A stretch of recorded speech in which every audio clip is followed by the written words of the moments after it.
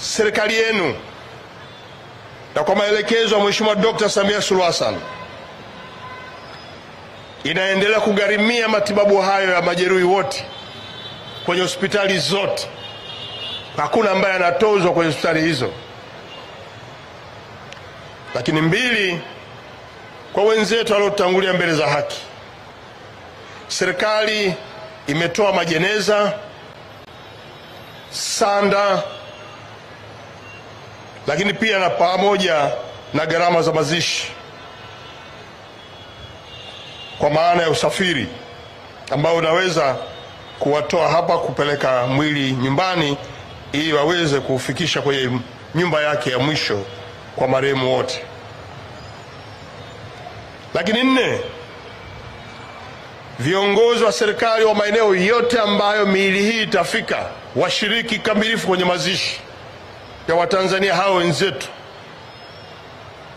Kama kuna mwili unaenda mkoani na unaenda wilayani, basi viongozi wa wilaya washiriki kamilifu kwenye mazishi ya Watanzania wenzetu hao kwenye maeneo mlipo. Ndugu wa Tanzania, sambamba na hatua hizo, serikali inakamilisha taratibu za kufanyika kwa uchunguzi maalum wa chanzo cha ajali ya ghorofa lile, na kwenye eneo hili nimeagiza jeshi la polisi kumtafuta mwenye jengo popote alipo, ili aendelee kulisaidia jeshi la polisi kujua kwa nini jengo limeanguka. Watakuwa na maswali ya msingi na yeye atashiriki kujibu swali moja mpaka jingine. Lakini pamoja na jeshi la polisi kuanza hatua hiyo kwa maelekezo ya Mheshimiwa Rais kwa kuunda tume, tumeunda tume ya watu 19 ambao watafanya kazi ya kuyapitia magorofa yote maeneo ya Kariakoo ambako biashara zinafanyika ili kujua ubora wa, wa, wa magorofa hayo na shughuli zinazoendelea.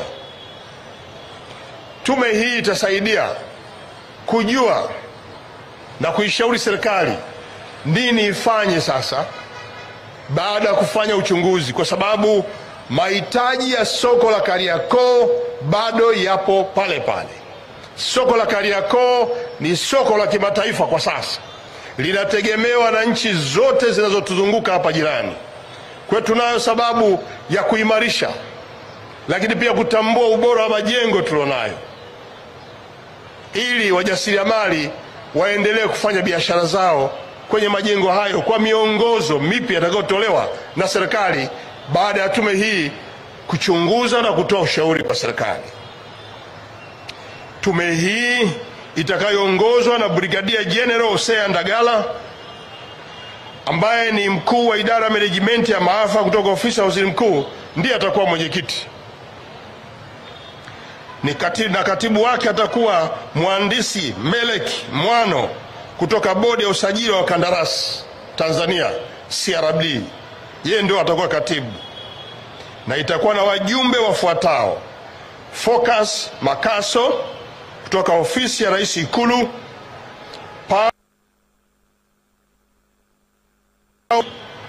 Dr. Menan Jangu ofisi ya makamu wa rais mazingira, Constancia Akaro kutoka wizara ya viwanda na biashara, mhandisi Paul Luhala huyu kutoka wizara ya ujenzi, Lawrence Kabigi kutoka wizara ya katiba na sheria, Kanali Samuel Mwankuru Machemba kutoka wizara ya ulinzi na jeshi la kujenga taifa, Injinia Hamadi Mafulu kutoka ofisi ya mkuu wa mkoa wa Dar es Salaam. Tuna mhandisi Hadija Abdalla, huyu anatoka wakala wa majengo Tanzania, na Elia Kakwembe kutoka jeshi la zimamoto na uokoaji.